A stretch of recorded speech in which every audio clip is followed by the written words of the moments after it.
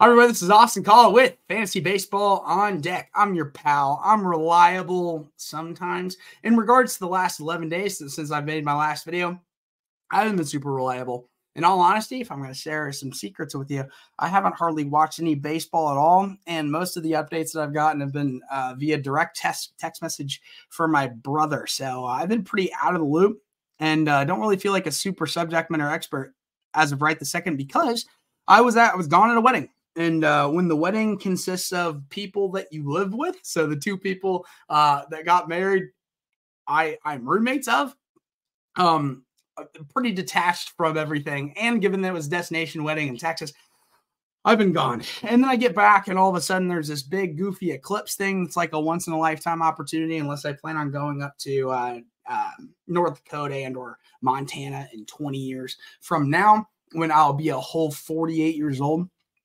I can't imagine being 48 years old. That'd be wild. But anywho, it's been 11 days since I made my last video. What did we cover in the last video? I covered, uh, I, I, I, personally watched and took notes across uh, around like 14 hours worth of baseball on opening day and sort of uh, made a video uh, highlighting and describing the, um, the, the underlying narratives that existed um, based on what we saw opening day and the importance of winning opening day. And again, some of the underlying context that are uh, a little more apparent now, but we don't have answers to until we see things happen. So, what am I covering today? Uh, specifically, I want to uh, first show off um, the accountability portion on Fantasy Baseball Deck. Every other website that you go to with fantasy baseball analysis, they're going to give you a bunch of opinions. They're going to tell you what to think, not how to think, and uh, they're going to move on and never, never um, revisit their bad takes per se.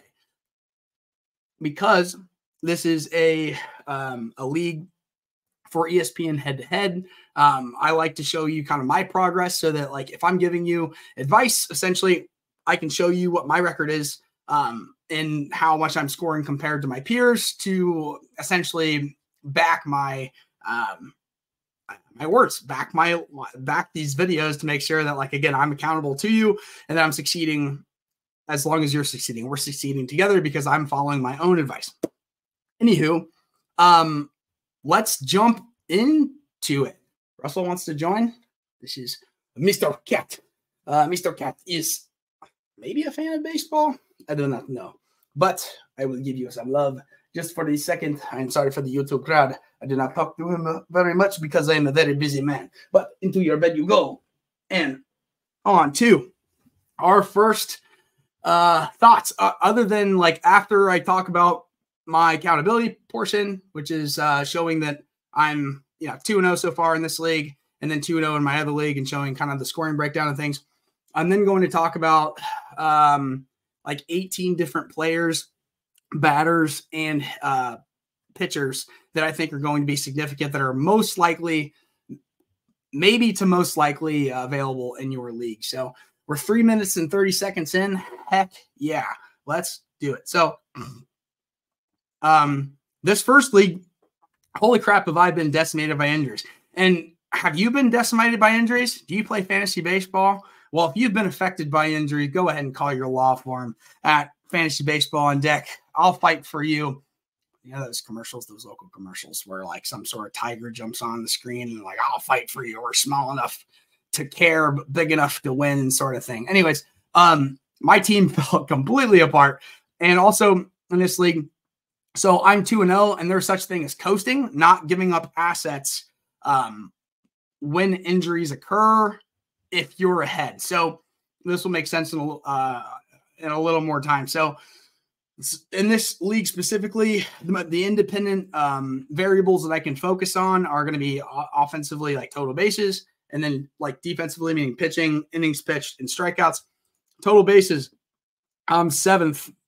Again, offense has been struggling to say the least, but I'm um, kind of my um, my, my guaranteed sort of like um, asset to all of you and to me. I get, I know that my pitching, like finding pitching that's quality, that's like not necessarily like dominant, dominant, but like less risk averse is always going to set me ahead. So I'm currently second in innings pitched, with also again guys on my guys on the IL filling up active spots and not pitching. So again, these numbers are a little skewed. I should be better across the board.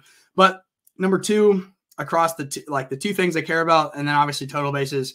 I'm uh, struggling both because the offenses offense isn't producing injuries and just playing without like a fully active roster. And this will make make sense here in a second. So, um, three of my main number one contributor. So Josh Jung was number one third baseman when he got hurt.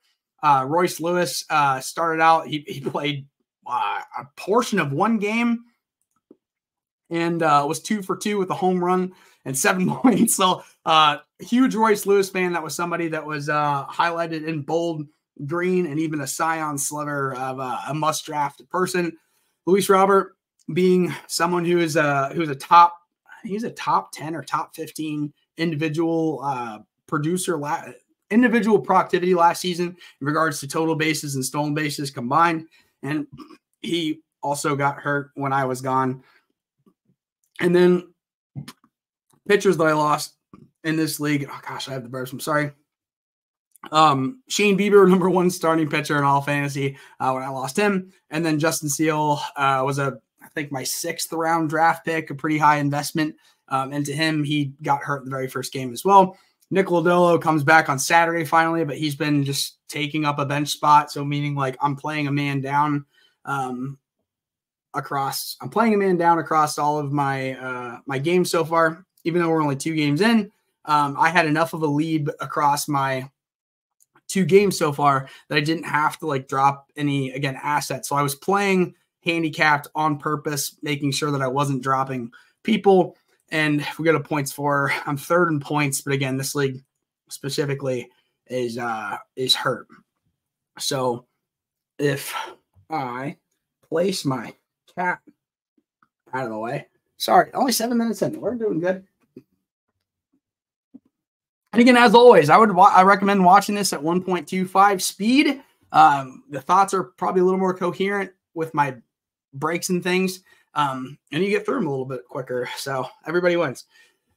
Anywho, um, because I just have lost people due to injuries, I'm having to like I, I, lost both of my third basemen, having to start some uh, a ragtag group like Ryan McMahon and Ryan Mountcastle both had to get added.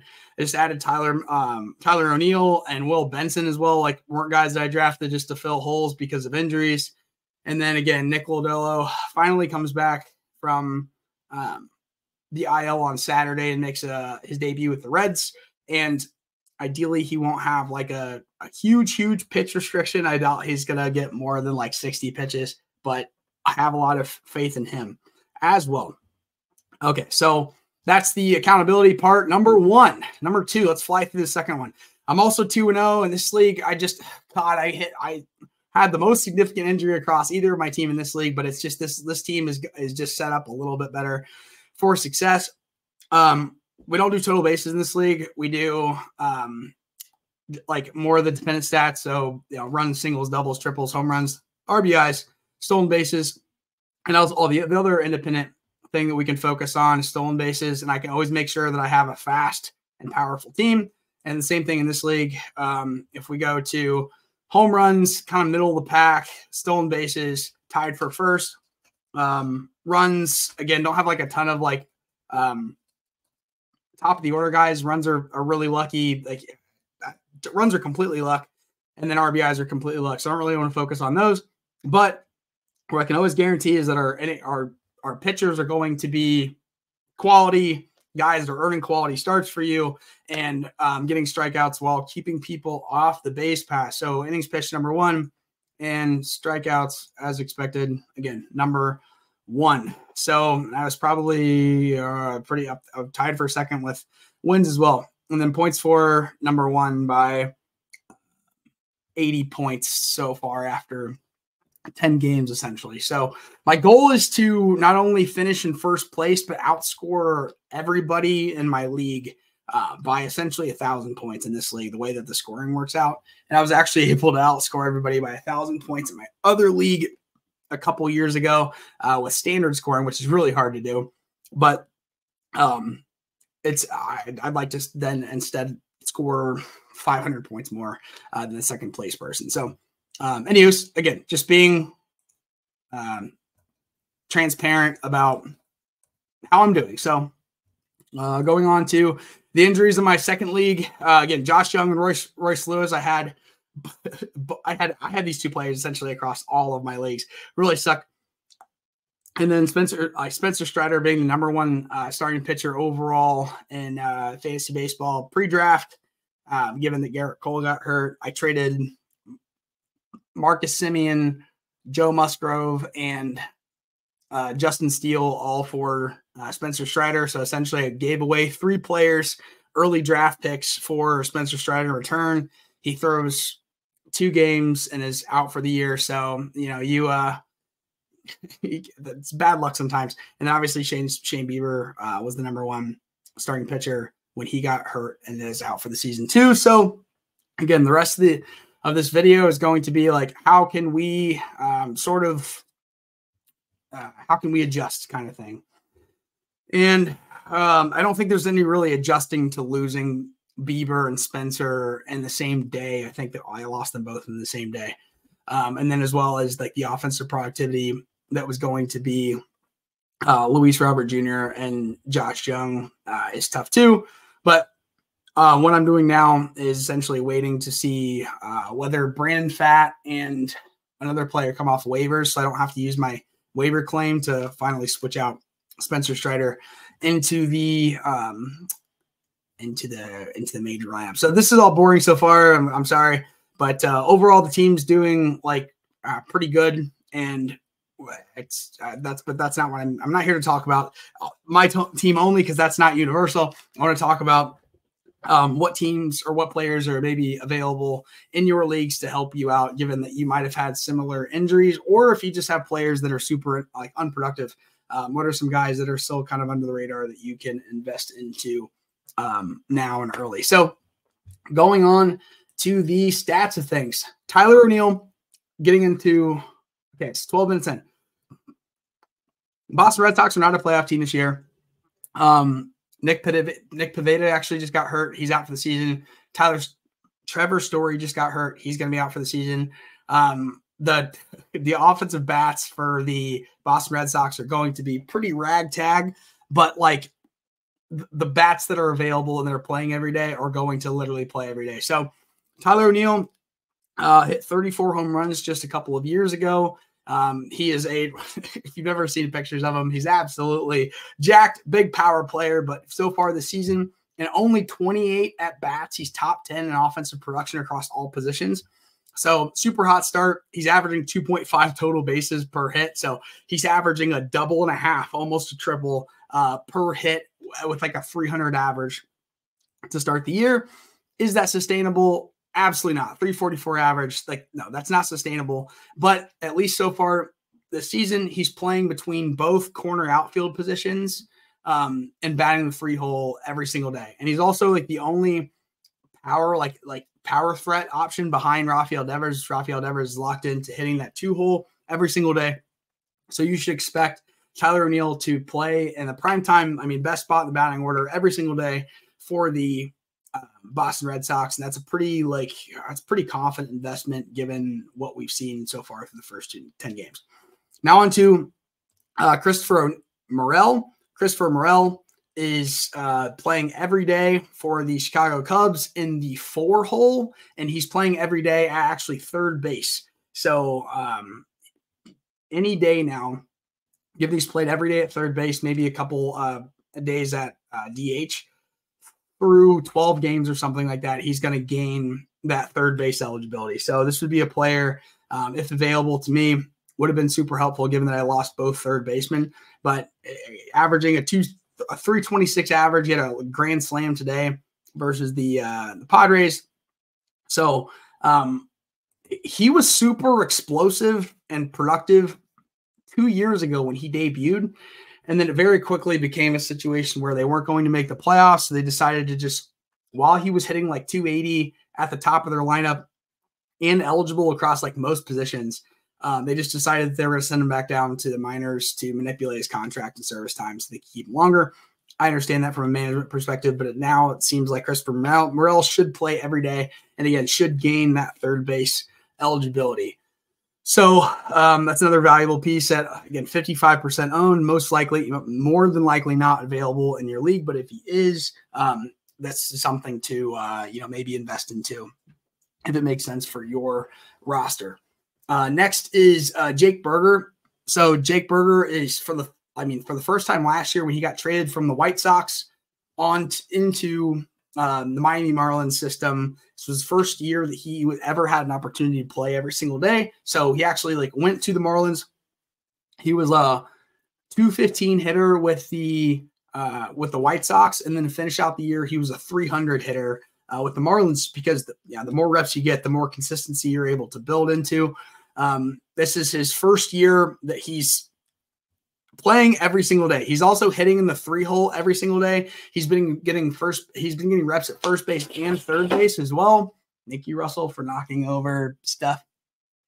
Um, he's averaging like he, he's at a, he's a 261 average. Last year he was 250. I expect him to be around 250, 260 hitter. But the important part of or for Jake Burger at least, is that again he's going to be hitting every day in the most primetime lineup, and, it, and an offense is struggling so far this year. They were a playoff team last year. He'll they'll turn it around. It's a little bit of a slow start, but across 20, 2023, even with the struggles in um, Chicago, he was a he averaged over a double uh, total bases like per hit, so over a double per hit which is crazy. Like any any player, the the goal is to get to as close as um as close to two total bases per hit as possible. These are the individual uh, variables that we like want to vote, focus in and um, into and like invest into when evaluating players.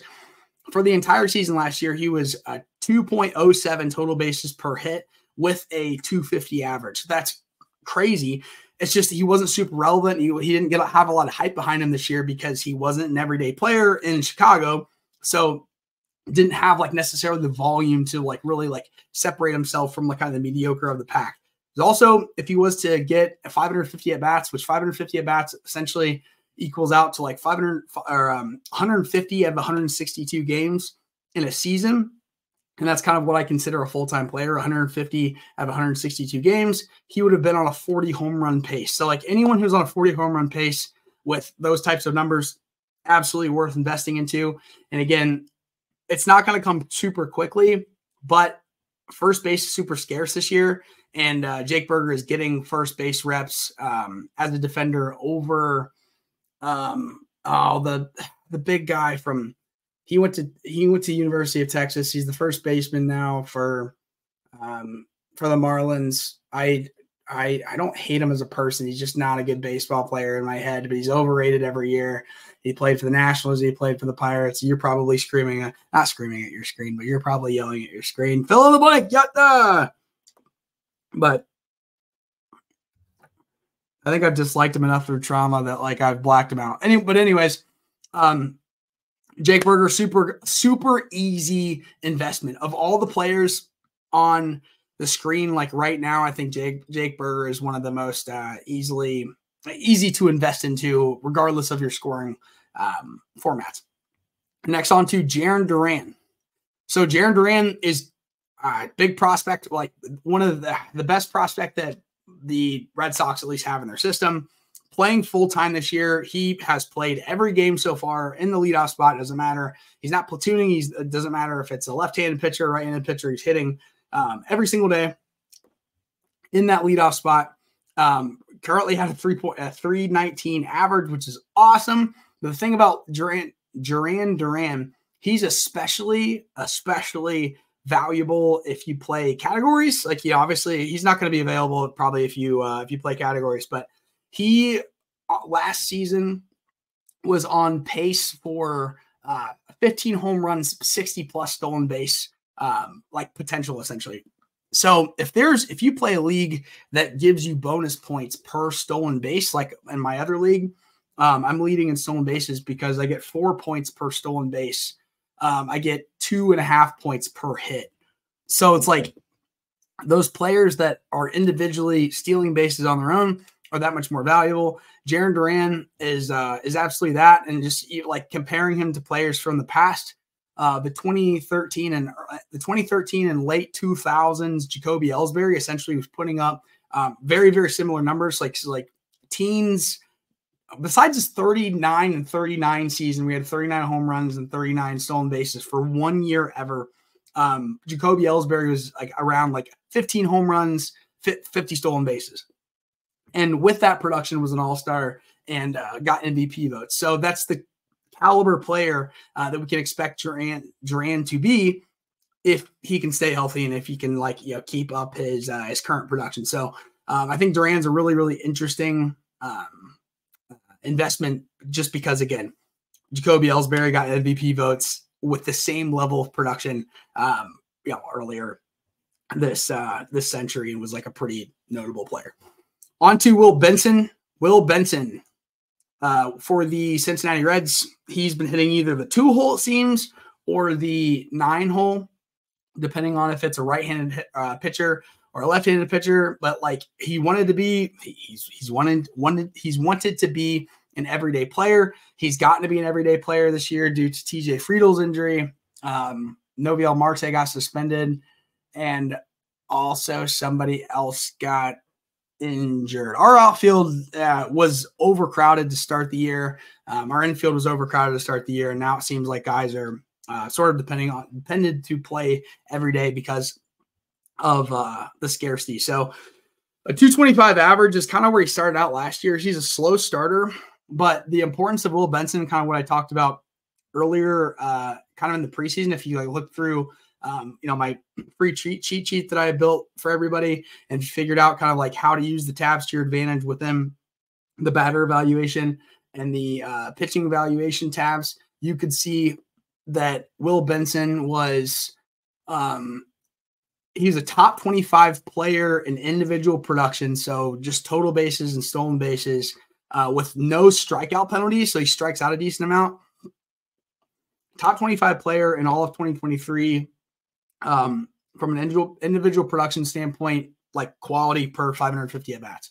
So again, if I limited everyone to 550 at bats, uh, Will Benson was a top 25 player. That's that's notable given that only 4.9 percent of people own him. So again, if you're in a league that does not give you a negative one points uh, per strikeout, this is a huge value to you. And I really like I would consider making room for him because uh, last year he was a 280 hitter and um, really carried the Reds towards the end of the year. He's got a ton of power. He's super fast. Last year, he was on pace to hit 22 home runs and 37 stolen bases, which would be, uh, again, incredible for a player that was undrafted and 4.9% rostered.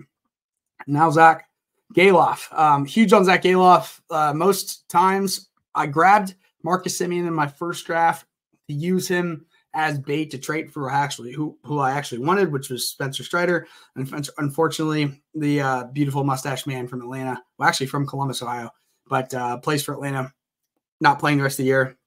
Unfortunate loss. But um, Zack Gelof being uh, a top 10 second baseman for absolutely no value at the end of the draft. He's only owned in 30% of leagues. He's lost percentage. He started out a little slow, but it's one of those situations where, um, like Mark, not Mark Reynolds, Bryan Reynolds with the like Pittsburgh Pirates I've talked about throughout the years. I love Bryan Reynolds, but like when he's the only threat in the offensive lineup at the two hole or the three hole, it's pretty easy to pitch around him and like not fear kind of like what's in front or what's behind to uh, mitigate risk and damage as a as a as a def- defensive team. So Zack Gelof um, is like absolutely worth owning. He's my second baseman across every uh, fantasy baseball format that I can possibly have. He's still hit, so he's hitting 333 over the last week.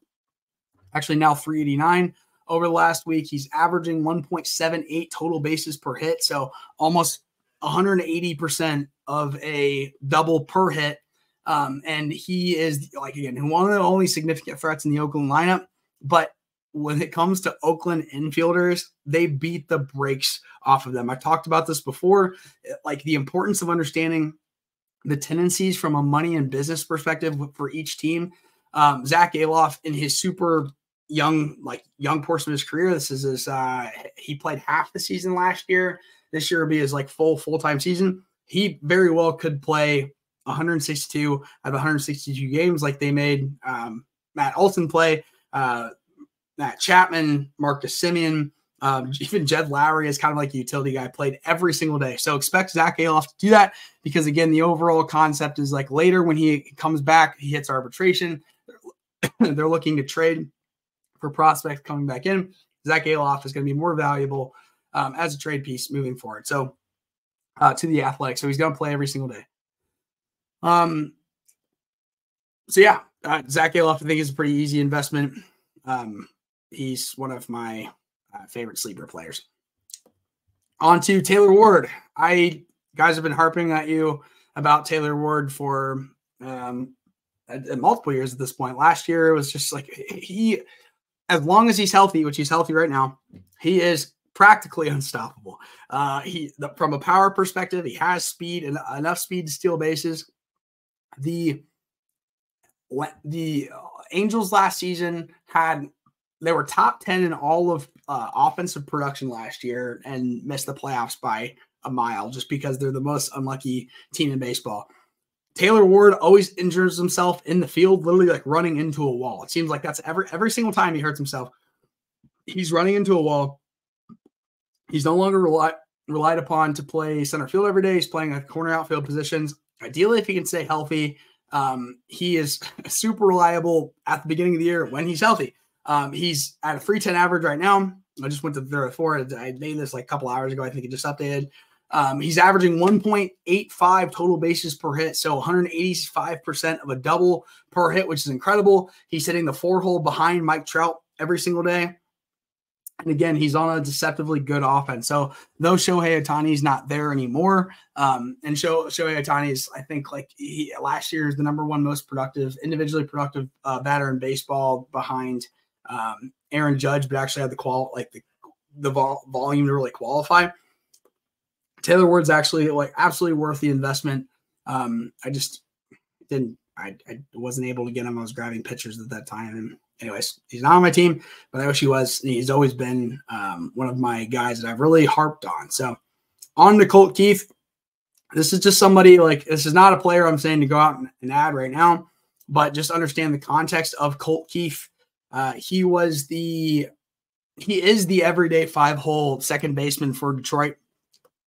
He before he played a major league game, he signed a six year, $82 million contract with Detroit because he is the best offensive product uh, or sorry, project, sorry, prospect that Detroit has had in a very, very long time. So better than Spencer Torkelson, better than Riley Greene.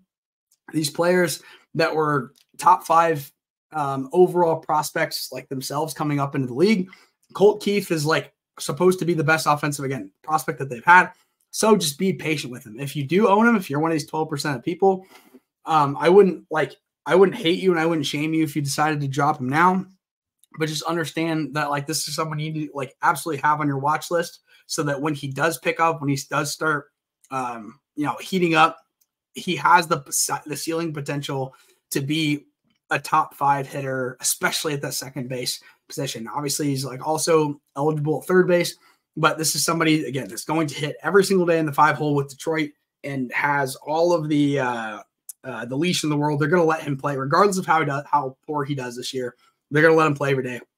He hasn't been hitting for any extra base hits yet, but um, the home runs, the extra base hits are going to come. So just keep an eye on Colt Keith. And the next, um, we I, I very well like I, I often overlook the value of having everyday players. Like from a batting perspective, I always make sure that we have everyday players. When I say everyday players, I'm saying like 150 games, have 162. To me, is an everyday player from a fantasy baseball perspective. But Ryan Mountcastle is just one of those guys that's just always there.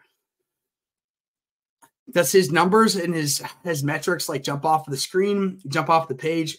No. And he though he's starting out this year with a 290 average and 1.8 total bases per hit, which is again incredible. Um, that's not super sustainable. We expect him to be more of like a 275 hitter with probably like 100, like 1.6 to 1.7 total bases per hit. But what's been consistent is that he's really the only like first baseman on on roster besides Ryan O'Hearn Ryan O'Hearn's been mostly in the DH spot.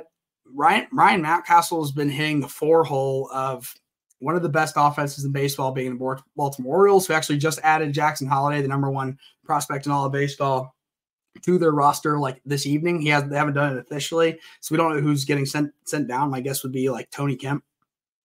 But Ryan's Ryan Mountcastle it literally plays every single day in the four hole of one of the best offenses in baseball. So though again, he's not a speed threat on the base paths, but from a like a a raw talent perspective around him, um, he's going to greatly benefit. That ob- obviously makes him a little more of a dependent player, but given how shallow the first base position is this year, um, I just think that at 21% owned, he's a pretty good investment um, to uh, find a spot on your team, you know, to, to, roster him in some way, just because he has so much talent around him. Again, he plays literally every single day. So something to consider. Not pushing Ryan Mountcastle down your throat. Again, overall, from an individual talent perspective, a little more dependent, but he just has so much talent around him. Their, their offense scores so many points.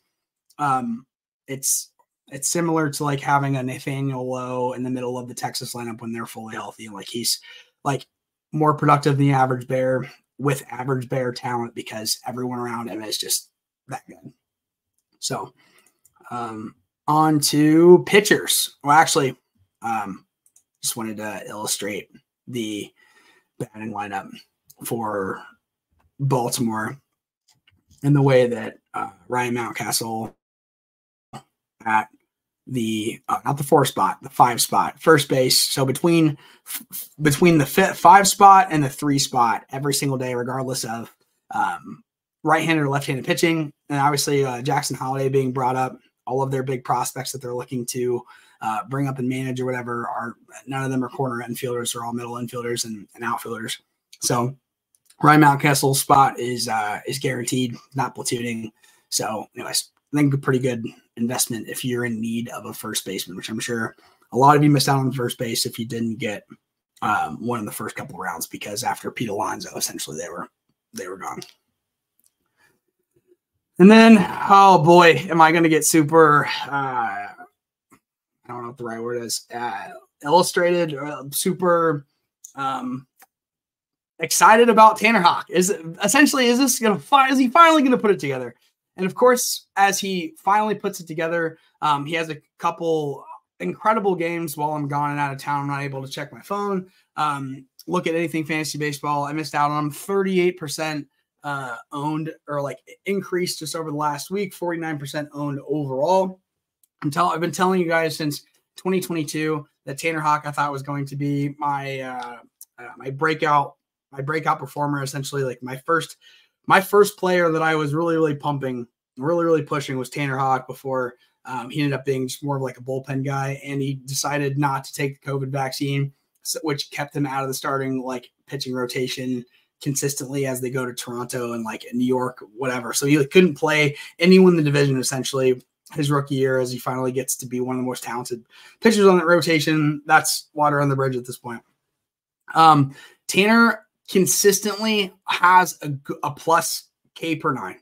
That's great. We always look. We're always looking for stri- players who are getting more strikeouts than innings pitched.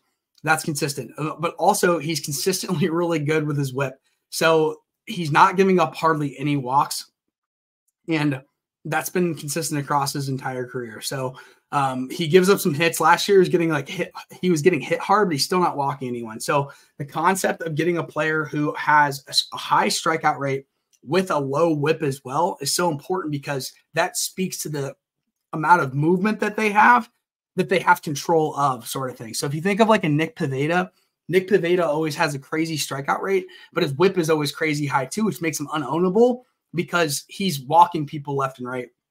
Same thing with like Dylan Cease's problem last year. Big Dylan Cease fan, but like he, I think every year, even his Cy Young Award year, uh, here's like he was finished second in the Cy Young for the AL like that one year. I think that he was still second or third in all of the AL, all of the AL and walks uh, given up. So to get a player who has a plus strikeout rate and a great whip across his career um, is super duper important, and that's been the case for Tanner Houck. So if he's available at 49 percent um, I'm pretty darn confident that's a good person to invest into. Um, he they have to let the reins off, and especially again with Nick Pivetta uh, getting hurt today and out for the season, like even more, uh, even more leaning on um, Tanner Houck in that big market that is Boston. Um, they're going to trade at the trade at the deadline for assets every year moving forward because they're a big they're they're again they're a big market. They don't have the talent to go to the playoffs per se, but like from a management perspective, it's again knowing the ownership and like how obsessed they are about succeeding this year and every year. No such thing as ever like uh, in Boston. There's no such thing as ever like sacrificing now for the future. It's how can we get as many wins today because the fan base goes crazy because they have so much money and whatever. So on to Michael Wacha. Michael Wacha is uh, kind of like a lesser version of Tanner Houck in the way of like not as many strikeouts, but the Kansas City Royals, uh, whatever whatever they're drinking in the water, whatever they're doing, the they lead Major League Baseball right now as a team in ERA and WHIP.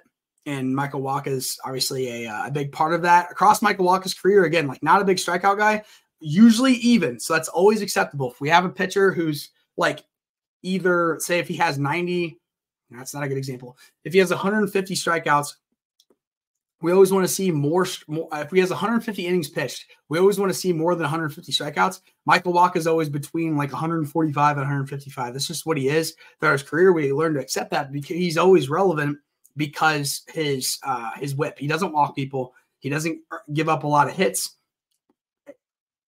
He's not popping off the screen uh, from a talent perspective, and especially since he's been around for a while um, later into his career, and also on the Kansas City Royals. Not like the sexiest pick, but if you're just looking for a player to get you consistent positive points, I think Michael Wacha is a pretty pretty safe bet. And like from an athletic perspective, if you look across the Kansas City Royals roster, um, I mean, they're they're going to be fast. They're going to be powerful. Uh, they were super injured all of last year, so it's not silly to say that like the Kansas City Royals, uh, who are currently a winning baseball team, they're six and four, um, can be more reliable from an offensive perspective because they're actually coming into this year fully healthy, which seems to be the problem with really everybody. Everybody's hurt. So uh, the next one is Zack Littell, and Zack Littell is only owned in uh, 18% of leagues across ESPN. And my computer is acting really, really slow. Um, does Zack Littell's numbers like pop off of the screen? No, but the thing with um, Tampa Bay Rays pitchers is that uh, there was actually a, a quote this past year um, with the I don't think that it was it might have been Aaron Civale. Aaron Civale uh, got traded from the um, the Indians to the sorry the Cleveland Guardians to um, the Tampa Bay Rays, and his ERA dropped a whole like like two points. So like, what did you do differently? What does Tampa Bay do differently? And he basically just said like how Tampa Bay teaches their pitchers is essentially like you have movement, you have stuff, throw it right down the middle. Our catchers are going to do the rest. So the Tampa Bay Rays essentially like don't put a lot of value into having an offensively productive catcher, but they always have a crazy good defensive defensive catcher. They tell their pitchers that have movement, that have stuff. Tampa Bay Rays always one of the most team team wide has one of the most um Yep. Again, productive uh, starting pitching rotations and, and bullpens in baseball every single year. They're always competitive because they're pitching. If you have stuff, throw it literally right down the middle. It's going to move, and ideally, you're not paying the corners on purpose. If you're looking to like throw a ball, pitch a ball with movement to hit a corner, your variance and possibility of like missing that and, and basically walking people is a lot higher. But if you're throwing your ball essentially with movement straight down the middle um, so that it's hitting the strike zone essentially you're like going to be a lot more efficient. You're making your defense work but again tampa bay has one of the most athletic defenses every single year for that exact purpose. Like they haven't figured out. Zack Littell has to play like he has to pitch a ton. They can't really restrict him even if they wanted to uh, because of their um, their overall like lack of depth so far this year.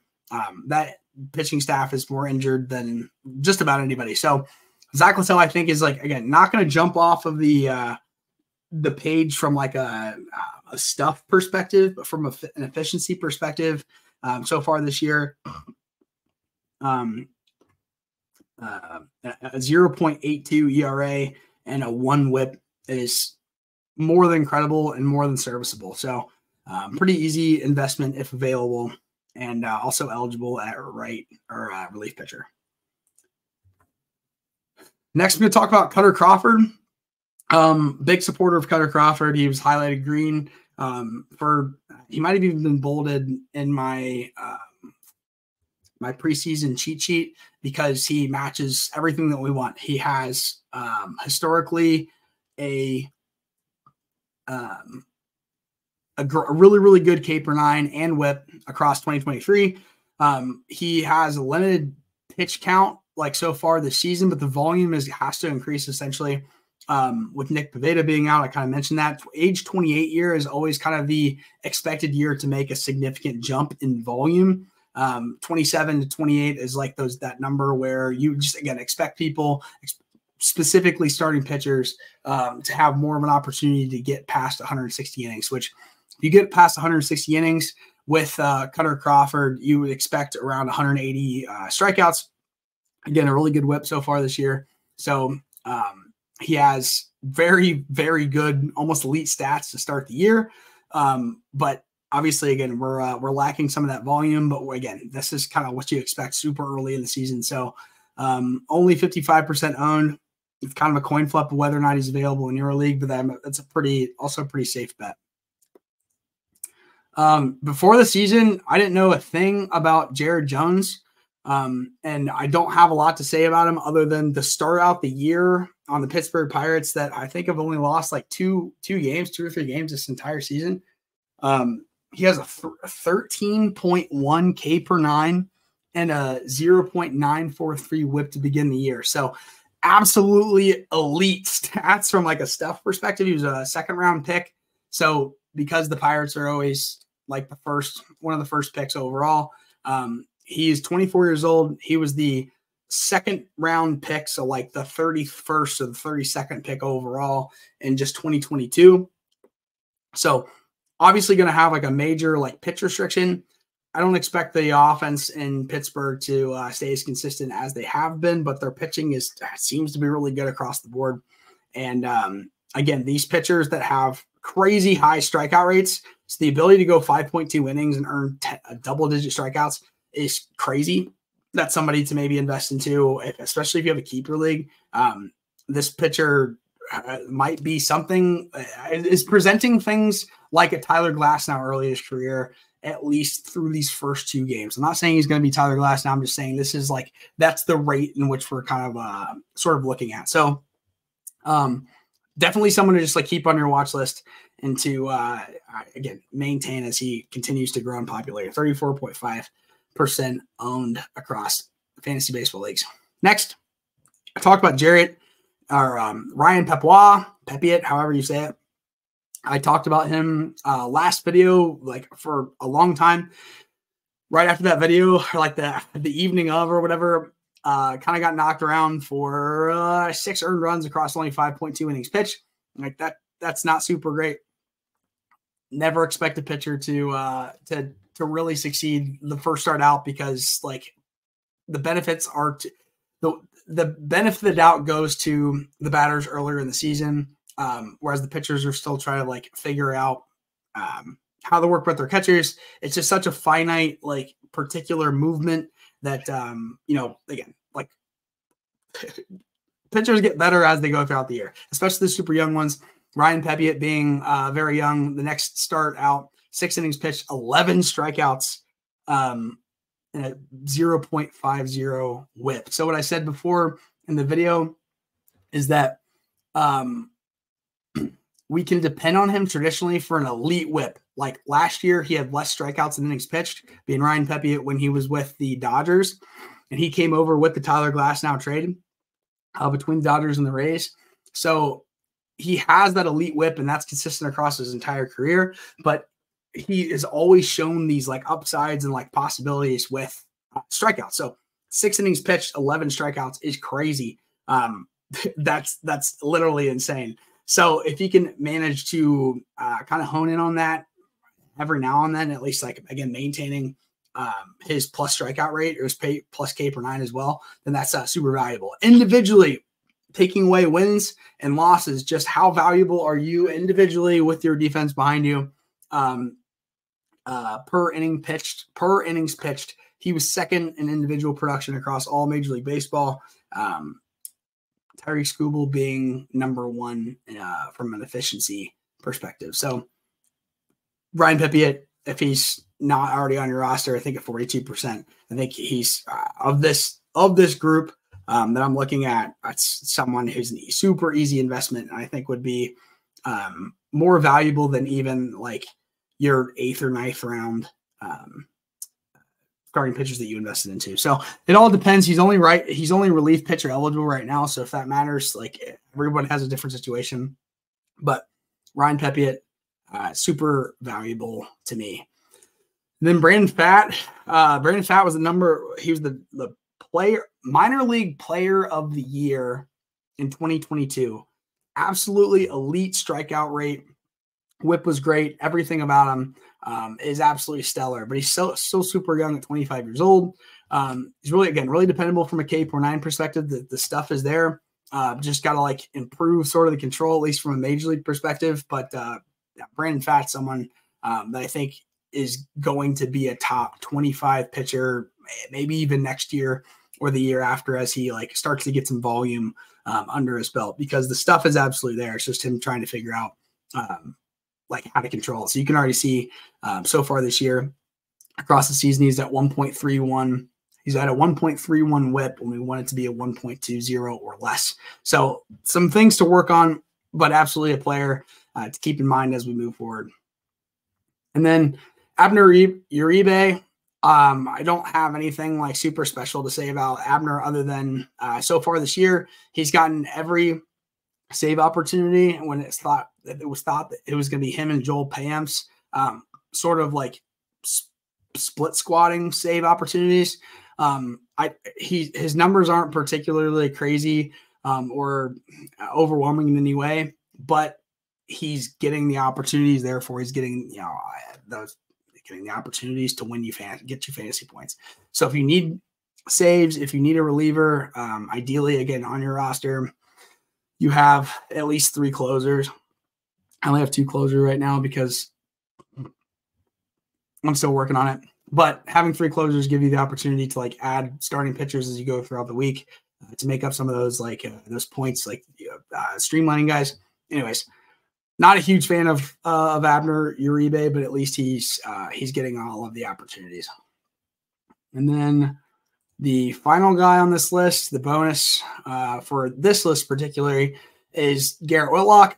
And the same thing with kind of Garrett Whitlock and, and Tanner and Tanner Houck. Their numbers are so similar, but they just have to stay healthy. So Garrett Whitlock, when he's been healthy, when he's in the starting rotation, and like he gets over his career, he he's in the starting rotation, he gets injured, he comes back, he rehabs, he gets put in the bullpen. He's in the bullpen, and then he like tries trying to work up back to a starting rotation spot, gets back to the starting rotation, injured, just never like never can quite figure it out. He's a whole a fully healthy offseason in the starting rotation. Nick Pivetta being hurt, he's going to have every opportunity to hold that um, rotation spot, and we'll uh, we'll see how he, how he does. But a really good K per nine and ERA um, across his career uh, so far with an acceptable WHIP um, so far, you know, his his whip's been really good, only through two starts, but like an acceptable whip, so around 1.2 instead of uh, this low low 1.18. So early in the season, but um, definitely a player to keep your eye on because he has the potential to succeed. And then my extra bonus tab over here is just talking about Reynaldo Lopez and Jordan Hicks, two guys that have transitioned from uh, full time bullpen players um, neither player is is young. Uh, they're both like they're not journeymen, but um, Reynaldo Lopez being a uh, White Sox, being built up to be, he had 184 innings pitched like four or five years ago with the White Sox. Um, transitioned to the bullpen because the White Sox starting pitching rotation at one point was crazy good. Um, moved to the bullpen, got traded last year to the Angels and then claimed by the Guardians now signed by the Atlanta Braves, and uh, how he was he had 96 pitches tonight. Like he was up to a 96 pitch count on April 9th of the baseball season. So his second time through, already up to a high, super high volume, which is good. He has a good K per nine and whip so far. Um, and in this situation, he's he's eligible relief pitcher and he's going to have all the run support. I usually don't like to talk about the run support because it's something not something we can guarantee. But given that the the Atlanta Braves offense is one of the best offenses I've seen in my entire lifetime, um, in regards to offensive production, it's uh it's a little easier to invest and sort of forecast four wins with this particular player because again he has the volume. So far, his strikeouts and his whip are are good and good enough with a ton of backing. So let's just hope that uh, Reynaldo can kind of keep it together. Have him in um, uh, when I keep the leaks, whatever. That's not not important. So on to Jordan Hicks, and then Jordan Hicks um, also being like a closer, uh, bullpen guy traditionally with the St. Louis Cardinals, and then the uh, getting traded to the um, the Toronto Blue Jays this past season. Like not jumping off the page necessarily from a strikeout perspective, but the whip is really good. The ERA is really really good and um, he's already been able to go seven innings pitched, even just his last start. He actually plays again um, against the uh, Washington Nationals. Both starts before were against the San Diego Padres.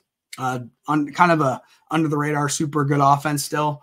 Um, so I think it's a pretty easy investment as well. Only 36% owned, and again, only um, eligible at relief pitcher as of right now. But uh, you know, there's just there's a lot of a lot of guys on the scrap pile that um, are, are maybe worth investing into and looking into um, if you have the space. So, got 51 minutes uh, for this video. I'm going to try to add chapters so that you guys are able to uh, skip through and um, get what you want out of it. But um, anywho, I look forward to talking to you soon and uh, go Red Legs.